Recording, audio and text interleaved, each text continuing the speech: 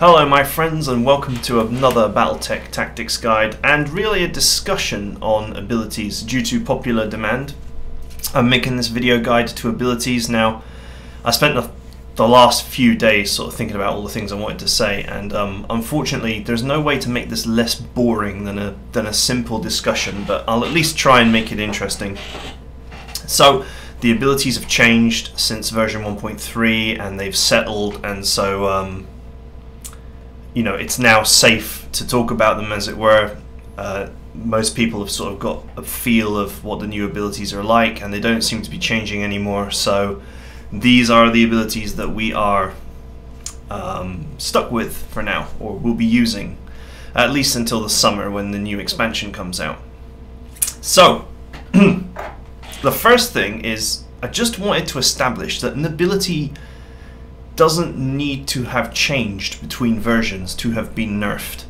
Um, and you'll we'll come to understand what I mean by that as we as we go through this discussion on uh, on the abilities.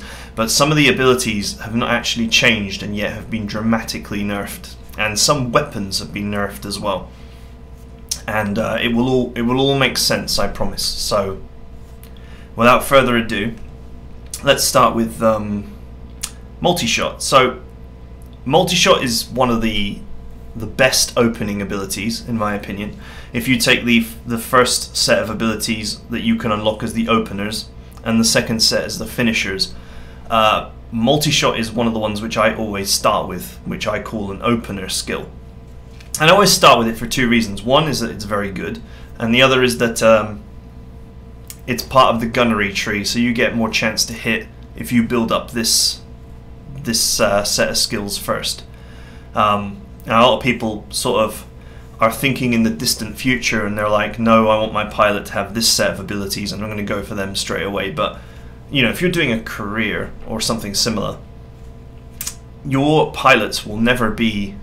Um, they'll never be like 10 10 10 10 until until the the career is basically over or you know with maybe 100 or 200 days left to go so you do have to take into account the here and now when you're picking abilities.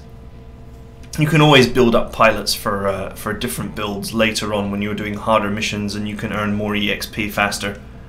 But anyway, we're getting slightly off topic here. So multi-shot allows you to uh, target three enemies, up to three enemies, uh, with whichever weapons you wish, and there are a lot of uses for it. For example, engaging with different enemies at different ranges to make sure you can use all your weapons, or evasion stripping. Uh, multi-shot has actually gotten a boost in this patch because of more importance being placed on evasion. So all in all, it's a good ability. It's one that I start with, which is why I've got it ringed in red here, opener skills. And um, you should take it. Now, breaching shot is the opposite. It's been nerfed dramatically. It's a skill that I used to use a lot, but I don't use it anymore. And the reason why is because when you so you're playing against the AI, and the AI has certain strategies, certain things which it always does. And one of those things that it does or likes to do is it likes to move at you and brace, move at you and brace, move at you and brace until it can engage you, until it can fire at you it likes to just move at you and brace. Well, the thing is, bracing got nerfed dramatically, down from 50% to 20%, unless you have Bulwark, which is uh, now what I call an advanced cover skill, where it basically amplifies cover that you already have. And because of that, there isn't much opportunity for breaching shot to actually be that great. And when you're facing off against a horde of enemies, say, you know, a whole lance, it's inevitable that at least two or three of them do not have bulwark. So, those two or three can be very rapidly picked off with just normal normal attacks without breaching shot. Because you remember that with breaching shot you only have you're only allowed to use one weapon per target, which forces you to fit large weapons and also give up that concentrated firepower. We don't have to do any of that now because the AI is more likely than not going to only have 20% defense. So you might as well just unleash your alphas on them and not take breaching shot. So unfortunately, breaching shot effectively got a massive nerf because all those times when the AI is sat there 50%ing it up, it's not going to be doing that anymore. So anyway, um, despite it not changing, the environment has, has changed around it. Breaching shot is pretty bad now, and I don't use it in any of my builds. Moving on, sure footing is like ability that is sadly um, one step away from greatness, as it were, because so it gives you an extra evasion, which is nice, but it only gives you entrenched, which is uh, reduced stability damage um, if you're not sprinting, jumping, or running into melee. And all the times that you would want to uh, improve your stability or make yourself more stability resistant is when you're sprinting, jumping, or charging into melee. So basically, um, it's the ability that gives you extra stability when you don't need it. so it's basically a non a non helpful ability. Um, and I don't like it. But it does lead to ace piloting, so unfortunately you will have to take it. And it does give an extra evasion token, so it's not it's not a dead to you ability. It at least will give you uh, that extra bit of uh, defense. Moving on, Bulwark, which is the advanced the advanced cover ability. There is a whole sort of can that we can open about what this ability does. But effectively, what it does is when you have defense already, which is now 20%, so you braced, you now get 20% defense. You're in cover, you now get 20% defense. You vigilanced, so you get 20% defense. It then adds an extra 20%. And obviously, you can stack those three things together. So you can be in the forest and vigilanced, so you get 20% for each, plus your bulwark gives you 20% extra. So basically, Bulwark is an ability now that gives you an advanced an extra 20% defense. Now, the new Bulwark has effectively led to the massive nerfing of LRMs, machine guns, um, I suppose SRMs a little bit. And I'll explain why. So, damage is reduced and rounded down. And what I mean by that is if you only had a 5% defense bonus, you would still take one less damage from an LRM. So LRM does 4 damage, and you had 5% defense, doesn't exist in the game, just an example, you would take 3 damage. Because it rounds down um, spare damage. What that means is, at 40%, so Bulwark plus cover, or Bulwark plus vigilance, um, or bracing plus Bulwark, at that 40% cover level, you effectively get a 50% damage reduction against standard LRMs. They're still doing 2 out of 4 damage, like, like they used to do when it was 50%.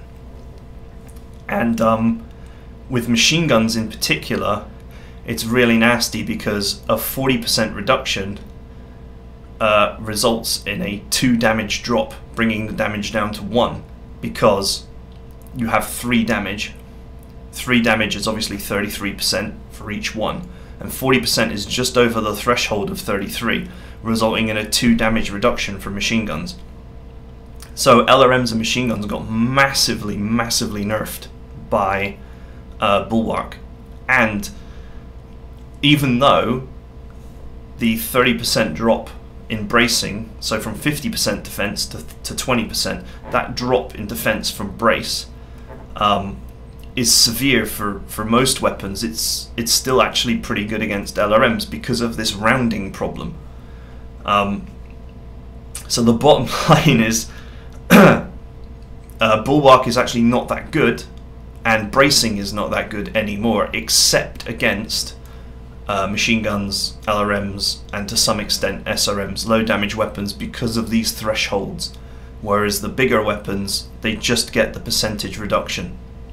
So ironically, breaching shot, which is not a great skill now, is actually still quite useful if you are a massive LRM spammer because of the way that Bulwark works.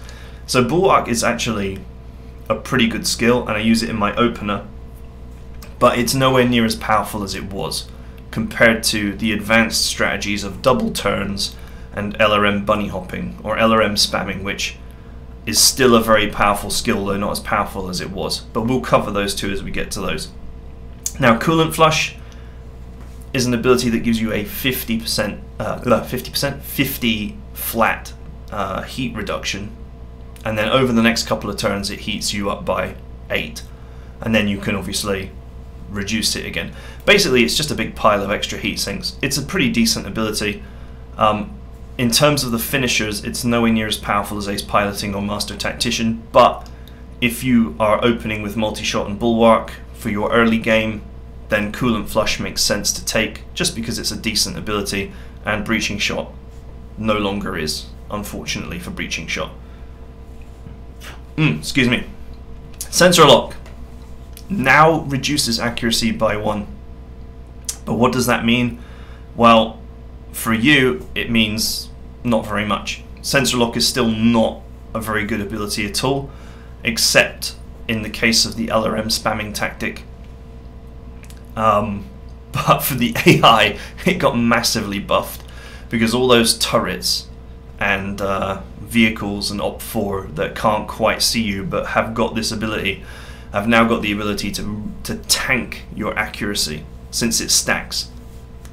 Um, and with Bulwark being reduced in in power, um, it is very easy for the AI, for three or four AI turrets, to pretty much hobble or entirely disable a mech, reducing all of its evasion, reducing its chance to hit by one, two, three, four, depending on how many times sensor lock has been stacked on it. Um, these penalties count and they do hurt. So there's a real potential for um, for the AI to abuse sensor lock against you. For the player, it's still as useful as it always was, which is not very, except in the case of an LRM type sniping, spamming strategy. So it is what it is, but you will have to take it to get Master Tactician, so yeah, good luck with that. Okay, so I've left these two here, Ace Piloting and Master Tactician for last, because I was always of the opinion that Master Tactician was the best skill in the game because Master Tactician enables the double turn.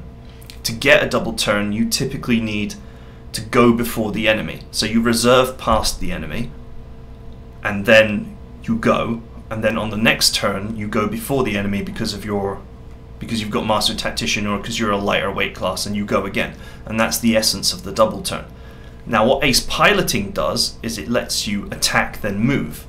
And what that potentially does is make your double turn way more powerful. So if you um, if so you reserve past the enemy, you come out of cover and you attack. And then if you have ace piloting, you can attack again and then jump back into cover or otherwise move into cover. Whereas with Master Tactician, of course, you just have to move back into cover. So you, you're only getting a shot one once every two turns, but the whole double turn strategy is to never take any return fire at all. So ace piloting always felt like the weaker skill because it didn't it didn't enable you in any way to get double turns. But with the introduction of the Cyclops, it is possible to take ace piloting, be the same weight class as the enemy, and still get double turns.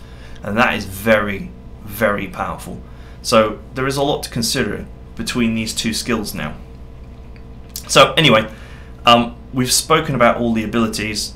I think they're all pretty decent apart from Breaching Shot to be fair. Um, Master Tactician and Ace Piloting have gotten closer to each other in terms of power level. Um, Coolant Flush is obviously slightly behind them, but because it's on the Guts tree, and you you most likely open multi-shot Bulwark in the beginning of the game, at least if you play like I do, um, coolant flush is just there because you, you have to take it. Um, but later on, when you get to specialize your pilots, um, I, I use two strategies, which is obviously the, the LRM spammer strategy, which I actually don't use so much anymore because it's so boring to play and it's boring to watch, but it is very effective. And then there's the double turn strategy, which I use all the time You'll notice that I've ringed four things with the double turn strategy, and that's because if you use it with multi-shot, you get great flexibility, and if you use it with bulwark, obviously you get defensive options. So you have two choices with the strategy. Okay, so let's go and explain these these strategies and what makes them so good. And for this, we're going to do a little bit of paint. Okay, so here's a whiteboard I prepared earlier. So with multi-shot, so with Bulwark being weakened, um, a lot of the the use of multi-shot is to simply strip evasion. So if you have two enemies and they have a certain level of evasion tokens, okay, and we're going to just say that these are Jaeger mechs. I'm just going to draw their arms on just to make life easier to understand. They're going to look like little sweets, which is which is cool. So with multi-shot, this would be my A target and this would be my B target. So I fire all my weapons at A, apart from one weapon, which I fire at B. And by doing that, I then strip evasion from both at the same time. Now with the Jaeger, it's got a lot of firepower in one place. So eventually, probably on my second set of multi-shots, I will then wipe out the arm so let's just fill that in right there. Okay, so I'm going to wipe out the arm now, which has got the AC5 and the AC2 in it. Now, it would require a lot more firepower, probably the rest of my Lance's firepower, presuming that my Lance is also heavies, to actually wipe this Jaeger mech out. But because I've been evasion stripping, the B, the uh, Bravo Jaeger mech has also now lost most of its uh, its ability to evade. So we can now dump our last two sets of shots into the uh, into the Bravo target and take out his arm. And what we've achieved here is that we've actually we've actually taken out a full Jaeger mech's worth of firepower here because we've gotten half of this one and half of this one. We've opened them both up to being killed now or being disabled or captured or, or whatever. And it's much more efficient to do this than it is to actually focus fire down one target and then move on to the next one. Because breaking an arm on a mech that has most of its weapons in its arms is so much easier than actually coring it out. Even if you've smashed the arm off, you've still usually got the right torso and the whole of the CT to go through to actually finish the job. But with multi-shot, and obviously you can you can go for up to uh, three targets with multi-shot. It could be a Charlie target. Um, you can rip these arms off pretty quickly and thus dramatically reduce incoming firepower. So this is the the reason why multi-shot is one of the best abilities in the game. And you're always outnumbered.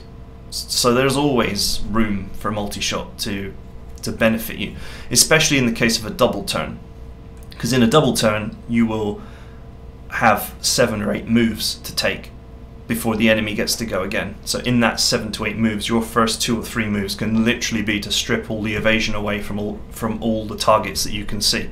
So you can then unload into them. Right. So we'll get rid of all that. Right, LRM spamming is a very simple strategy, which is where, and you don't have to use LRMs, but LRMs are, are usually how it is done where you have your uh, your LRM spammer, you have some sort of wall or something between you and the op4, and you have your your op4. I should use the, the shape tool here, and what you want to do is very simple. Is one sensor lock, two unload missiles, three jump away. Now, obviously, you can't you can't sensor lock and move, but you don't have just the one the one LRM spammer. You know, you have your whole you have your whole lance, and what you usually do is depending on you know ammo, positioning, all that kind of thing. All of them have got sensor lock. All of them have got um, ace piloting, and so say this one's furthest this one's furthest away so we sensor lock with this one these three these three up here will all launch their missiles at the target, and then they'll all jump back. And then you'll repeat the process of, so now, this one's the furthest away, so this one will sensor lock and the rest will jump back. And you just launch, jump back, launch, jump back, launch, jump back. You don't even, if you start doing it early enough an open terrain, you don't even need a wall to actually do it. You can just harass the enemy constantly and all the AI will do is it will walk at you, brace, walk at you, brace, walk at you, brace. As we just discussed, that does a whole lot less for the AI now than it used to. It's only a 20% reduction, although that reduction is more severe against LRMs, it's 25%, and if they get a 40% brace, then it's going to be a full 50% reduction like it used to be. But this strategy is still very powerful and very annoying, and there's very little that uh, that the AI can do about it. It has no clue how to deal with it. Um, it's very safe and it's very uninteresting, and that's why I don't do it. But the correct setup for it is there, which is to go for sure footing, ace piloting, and sensor lock, and just just do that over and over and over and over and over until the AI is dead. Um, it's a late game strategy because early on your mechs don't have the uh, the tonnage or the flexibility really to to mount enough LRMs to sort of get away with this. You, um, you want to favour deep pockets of ammo over having massive launchers because it's just a matter of time until you win, basically. Um, and people say, oh, the maps are so small, so you can't get away with it. You can. Just follow the edge of the map. Just jump all the way around the edge. Just go around all the terrain that the AI can't handle cliffs, mountains, ditches, ravines, forests, you name it. Because you're jumping, you're always moving. After you've launched, you're always moving for at least four or five tiles away. And uh, if they're if they're moving and bracing, and they're going through forest or, or any terrain whatsoever, they will never catch you. The AI has no clue how to deal with it. So this is still a very powerful strategy, and that is why ace piloting was or is a great ability. Now the thing is, now you've got the Cyclops, you can have the the double turn capability of Master Tactician baked into it. So there is really huge potential for um, ace piloting to be the best skill in the game if you're willing to bring that Cyclops along to get your Master Tactician baked in. But if you're not willing to do that, then I still think Master Tactician slightly edges out uh, Ace Piloting in terms of abilities. So anyway, in conclusion, and I'm sorry if this video is a bit boring, but I just don't know any other way to sort of deliver the knowledge other than to just deliver the knowledge. Um, so with the, the double turn thing has been deeply covered in another video with an in-game example. So if you haven't seen my video guide on double turns, uh, go and watch that. It's a lot more interesting than this one because I've actually got a game where I can demonstrate how it's done against an OP4. Um, double turning is just as powerful as it ever was. Um, I would consider it to be a mid to late game setup. You can do it early on just based on the fact that you're in lights or mediums and they innately have a low um, initiative. So you can double turn your way through through the enemy because the enemy will typically always have slightly better better or heavier mechs than you.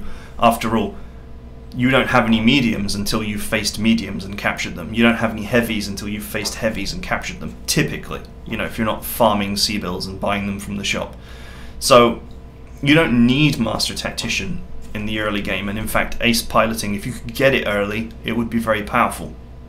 But in the late game, when you're heavy and they're heavy, or you're assault and they're assault, that's when you need Master Tactician to get your double turns, and um, still remains a very powerful ability. Now, whether you want to go with Bulwark with it, or whether you want to go with multi-shot, I'm torn. They're both very useful. Multi-shot is as, as good as it's ever been, if not better, because of the sheer weakness of bracing, especially without Bulwark, and the AI loves to do it and that multi-shot will let you get rid of the more important evasion tokens from many targets. And um, you know, conversely, Bulwark does offer great survivability on on a lot of maps. But I would say the Bulwark is quite map dependent. Um, you know, previously it just worked all the time and you got your 50%. But now it uh, only works when you gain defense for some other reason. So in lunar environments, um, badlands, even some water worlds, it, it doesn't really offer you any extra utility. Um, you know, for example, one classic thing with old bulwark would be to stand in the water, get a 50% defense bonus, and just unleash massive alphas over and over again because of that extra cooling because of the water. Well, bulwark and water is kind of useless, effectively, unless you're going to use vigilance, which you're not going to have the resolve to be doing that for a whole lance. Um, it's not going to do anything for you. Whereas multi-shot really shines in that environment. You have a lot of extra firepower. You can spread it around and get maximum efficiency out of it. So anyway, um, it's been a bit of a long discussion this one, but the basic conclusion is that all the abilities are actually in a pretty good place apart from breaching shot, which is the one ability that no one is discussing at the moment, but it has been nerfed massively, at least against the AI. Now, against humans, it might have a place, but against the AI really isn't necessary anymore. The days of the AI bracing for 50% and chasing you across the map are, are gone, they're dead. And uh, the 20% reduction, while still effective against LRMs, and the 40% reduction being more effective, um, is much rarer.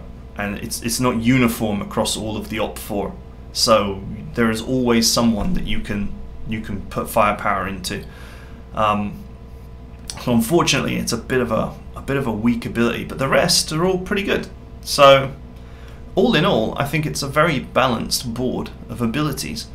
Um, and lastly, I'd just say, you know, when you're getting started, make sure that you also consider the breakpoints for um, some of the more important pilot upgrades, we want to call them, pilot traits. Um, and what I mean by that is, if I just bring up me, my paint again. So I'm going to use orange this time. If we go for Tactics 6, there is the cooled shot bonus here.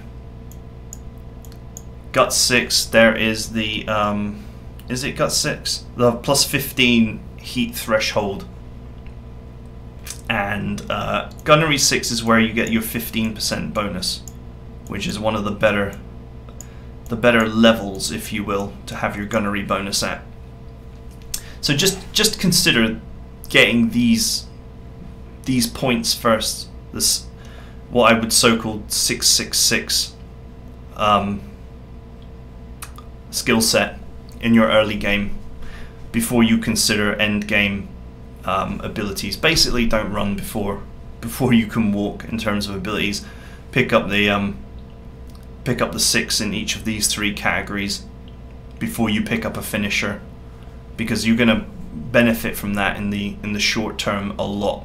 You can always worry about hiring pilots with great skills or with particular skill sets later on in your career as in your campaign, all your characters are going to end up 10, 10, 10, 10, and it's not going to matter. But in terms of the campaign, just keep in mind, I usually go for Gunnery 6, then Guts 6, then Tactics 6, or Guts 6, then Gunnery 6, then Tactics 6. Something roughly in that order, because I want these to reach these thresholds, because you get a big, a reasonably big power boost at each of these points. And that's it. I hope that answers all the questions. I'm sure it probably doesn't. So if you have any questions about abilities, drop them in the comments and I will do my best to answer them. And I hope this helps somebody. Oh, and Merry Christmas.